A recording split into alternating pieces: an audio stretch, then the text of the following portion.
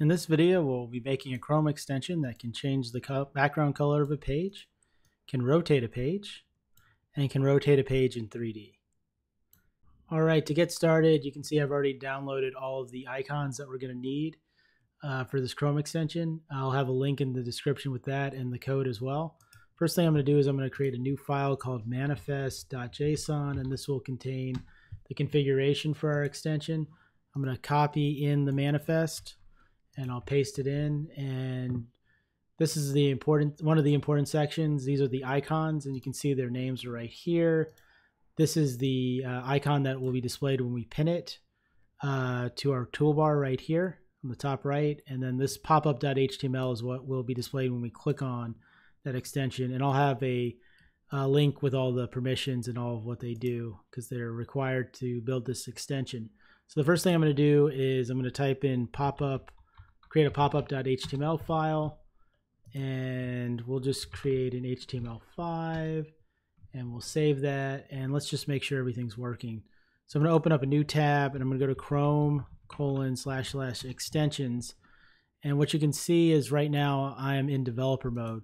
So yours will look like this. So if you go to the top right of your screen and toggle on developer mode, you'll see this thing called load unpacked. So that's what we want. So go ahead and click on that and then navigate to the folder where your Chrome extension is. Mine is in background dash YT. I'm going to select and you can see my extensions right here. So notice this manifest does stuff with the background, does stuff with the background, a background changer, background changer. So you can see all that right there. And you can even see the version, which is 1.0.0. So all that's working, which is great.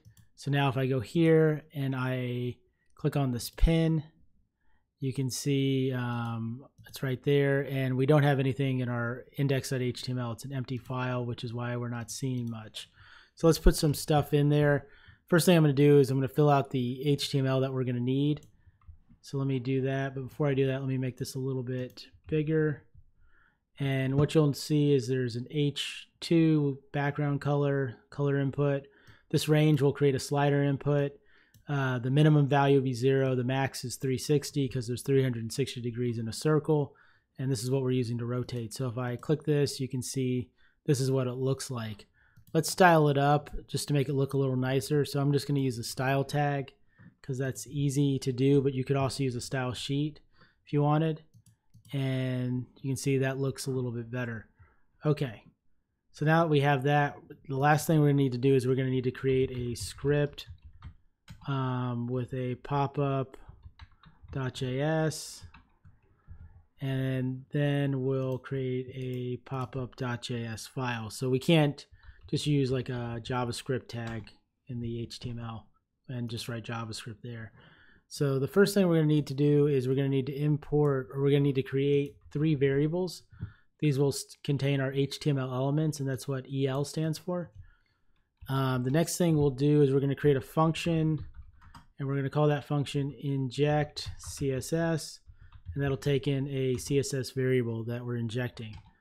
Then we're going to query the Chrome uh, query Chrome for uh, tabs, the active tabs. So say chrome.tabs.query.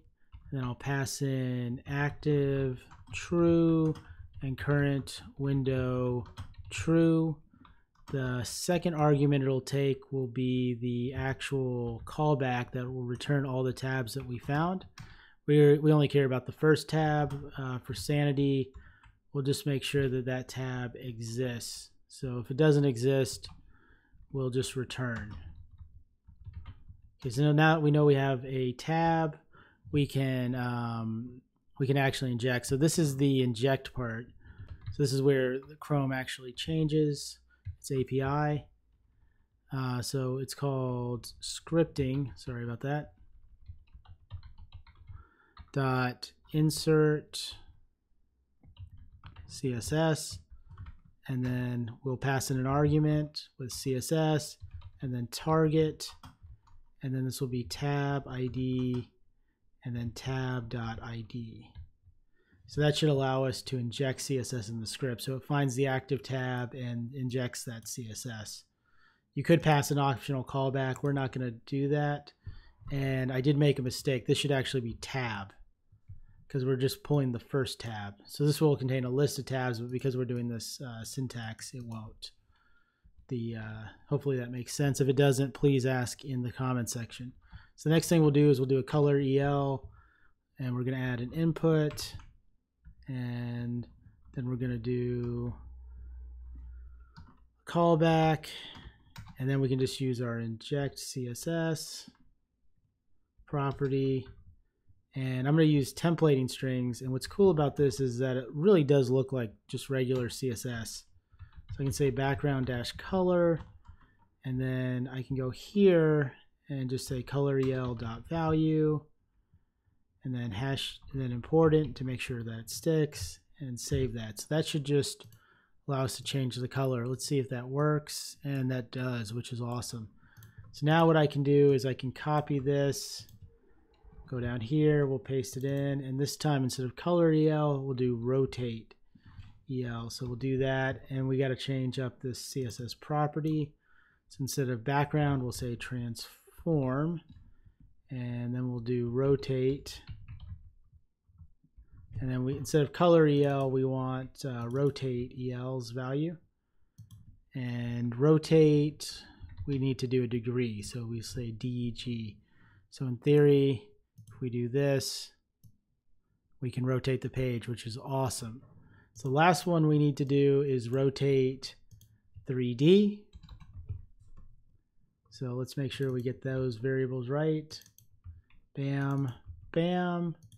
And then it's 3 lowercase d, and it's 1, comma 1, comma 1, comma.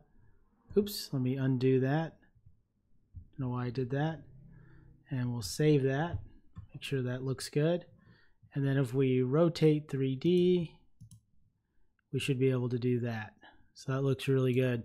So that's how you make a chrome extension. Uh, hope you all have a great day. If you have any feedback or you want to uh, any other videos on chrome extensions or any other videos please let me know uh, i look forward to hearing your feedback uh, sorry that i did not listen uh, when you guys were complaining about the errors i will be more attentive and more trusting next time. So that was uh, totally my fault. Um, but I hope you guys have a great day, and I will catch you on the flip side.